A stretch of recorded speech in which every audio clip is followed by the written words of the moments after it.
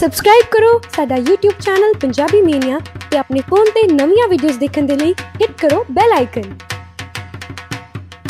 ਸਤਿ ਸ਼੍ਰੀ ਅਕਾਲ ਜੀ, ਪੰਜਾਬੀ ਮੀਨੀਆ ਤੇ ਤੁਹਾਡਾ ਸਾਰਿਆਂ ਦਾ ਸਵਾਗਤ ਹੈ।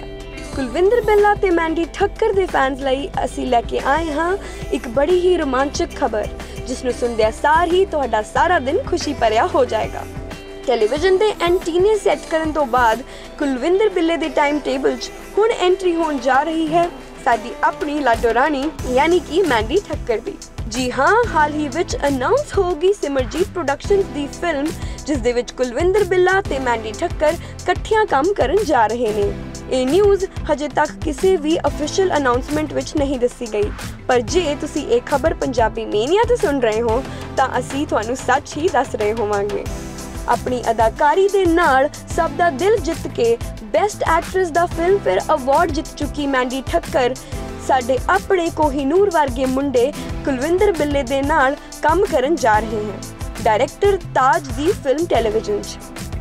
ਇਹ ਫਿਲਮ ਨੂੰ ਪ੍ਰੋਡਿਊਸ ਕਰ ਰਹੇ ਨੇ ਮਸ਼ਹੂਰ ਡਾਇਰੈਕਟਰ ਸਿਮਰਜੀਤ ਸਿੰਘ ਤੇ ਇਸ ਫਿਲਮ ਨੂੰ ਲਿਖਿਆ ਹੈ ਮਨਜਿੰਦਰ ਸਿੰਘ ਨੇ।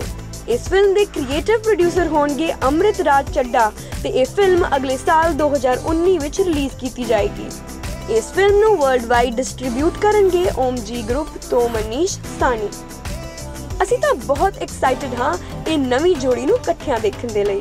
ਜੇ ਤੁਸੀਂ ਵੀ ਐਕਸਾਈਟਿਡ ਹੋ ਤਾਂ ਸਾਨੂੰ ਕਮੈਂਟ ਕਰਕੇ ਜਰੂਰ ਦੱਸੋ।